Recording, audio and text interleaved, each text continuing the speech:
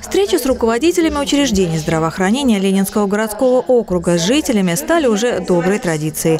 Это прекрасная возможность задать врачам интересующие вопросы и получить исчерпывающие ответы здесь и сейчас. Здесь э, выясняются некоторые вопросы, и на них э, реально можно получить какие-то ответы. Вот, это жалко только, что вот э, именно наших местных жителей приходит не так много, потому что не все знают, что существуют такие встречи.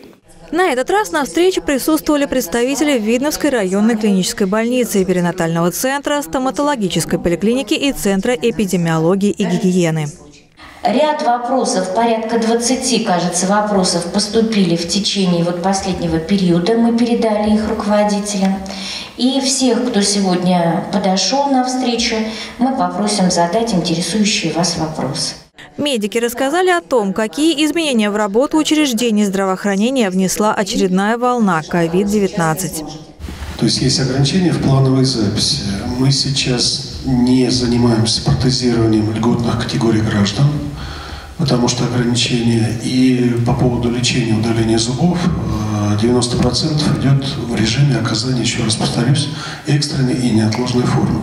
У нас составлен скользящий. Э, сразу скажу, что каждый день работают травматологи и хирурги, работают каждый день офтальмологи, онкологи, а вот кардиологи, неврологи, эндокринологи, они по скользящему графику работают. Э, колл-центр наш знает.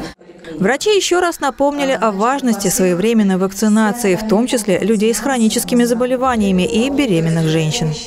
Хотелось бы обратиться к жителям, особенно беременным женщинам, с такой просьбой, что вакцинация, она преобладает на данный момент и э, для нас очень важна, потому что пациентки беременные – это высокая группа риска. После выступления руководителей учреждений здравоохранения слово взяли жители. Вопросы видновчанки Елены Орешиной касались стоматологической поликлиники. Возможно ли когда-то нашу стоматологию увидеть в другом здании, потому что то здание, которое есть сейчас, оно очень маленькое. Коридоры узенькие. А, опять же, если люди приходят, э, либо пенсионеры, либо с ограниченными возможностями, разойтись очень сложно. Организация здравоохранения и организация, вот, которая занимается образованием, управлением образованием, их переезд планируется, но это не завтра случится, на это нужно время. А вот жительницу деревни Калиновка Валентину Федотову волнует закрытие в населенном пункте фельдшерско-акушерского пункта.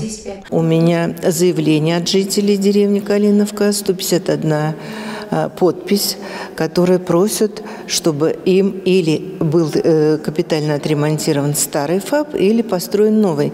Сейчас же ведь есть модульные ФАПы.